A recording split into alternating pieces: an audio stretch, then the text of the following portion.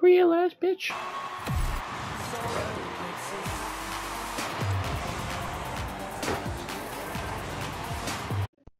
Wow, that was a that was shmoney.